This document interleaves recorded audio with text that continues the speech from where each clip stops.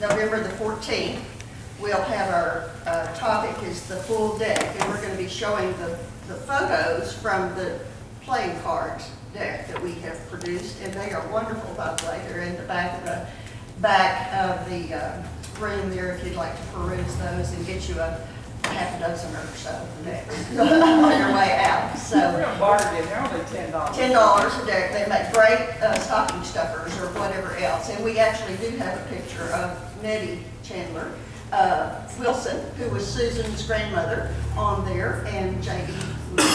So anyway, welcome, and without any further ado, I'm going to turn the program over to Joe, uh, so he can tell us all about the Chandler family. So there's three here in Chandler County, uh, okay. Uh, they're, they're, uh, they're great great grandchildren. One here is my wife Claudia. Um, Yay, Claudia. I'm gonna be referring to Claudia several times during the story, and so that, that's who Claudia is. And, uh, Jim, introduce yourself. I'm Jim Holt, and uh, I'm part of that clan too. You live in, I'm sorry? you live in? I live in Garland, just across the lake. I, I stay over here more than I do over there, though. I don't know what it is. There's some kind of a draw. Nancy? I'm Nancy Wilson Freitas, and my great-great-grandfather was Henry Chandler. And I live in Quinlan Cash area, but I work here at Rockwall at the CVS on Horizon. Yay. If if any of you know anybody in the Chandler family, uh, I appreciate if you would get one of these little, it has my contact information, give it to them, because I'd like to chase, I've I've got a lot of blanks in my family tree, and I'd like to find some more people. So if you know anybody uh, who are related to the Wades and Chandlers uh, in this family, then uh, uh, appreciate it if you if you do it, don't send them your table and get one out. Somebody you. And uh, also, this, you know, this is kind of a formal setting and important everything. But uh, anyway, I I want this to be, uh, you know, feel free to make comments on it. Go along and get done. And uh, also, there are a couple of books up be mentioning and showing you some examples of the, uh, what I have put together. I've I've put together these books that have family history and family tree and all from my family. And there's a chapter about the the Chandler's ways and so on. And uh, then there's a large section about memorabilia about stuff from my childhood. And I'll show you some examples of that. But anyway, they're, they're both identical. Uh, If you want to come up through them, to do that. Um,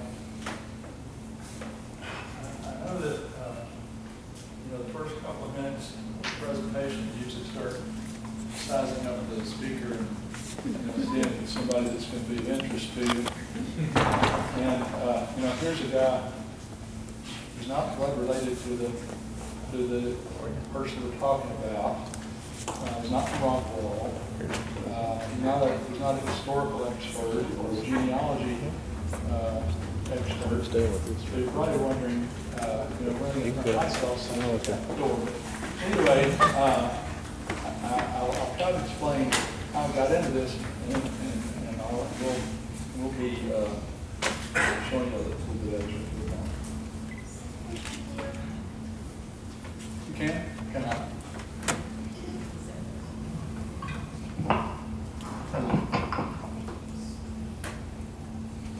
Project is to get the projector on. There we go. I understood slide know, film, digital, I don't know. Anyway, okay.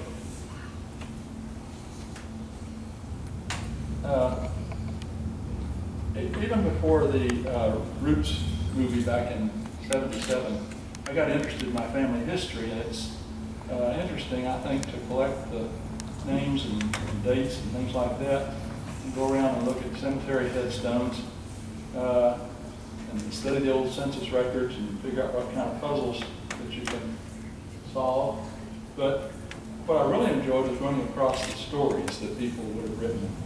And so I decided to start recording my own stories, and it started off as about twenty pages and it kept growing and kept growing. And now it's up to four hundred and fifty pages. That's, that's the books I was mentioning up here. Um, Some of the, some of the chapters, different family branches, of course, are not related to me personally, but they are for my grandchildren because of the, of uh, the- the daughters-in-law and so on and so forth. Uh, I have a large section there about memorabilia stuff, and uh, in addition to the old scanned pictures and historic facts, and you can, you can see the sort of stuff that I have uh, collected. I told about how the first TV our block had a little bitty black and white screen. And we went, when I was a kid, we went to double features at the movies on Saturdays for twenty-five cents. You couldn't do any better than Roger Roy, uh, Roy Rogers and Bob Kettle, Bob Kettle. And then there were ongoing serials uh, each week, and one was Superman. And, you know, he would get these impossible situations, and you'd have to come back the next Saturday to find out how he, how he got out of the, out of the mess. And he'd always, Clark Kent would always uh, jump into a phone booth and take off his coat and tie and show his Superman costume whenever the world needed his superpowers. My grandson wanted to know, what's a phone booth?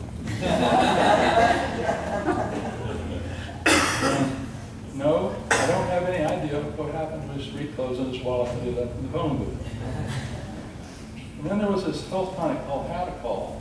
It had eighteen percent alcohol and seemed to be very popular in dry counties. My grandkids have heard of the Beatles, but they didn't know who John Denver was. And does anybody remember poodle skirts and ducktails when women started smoking?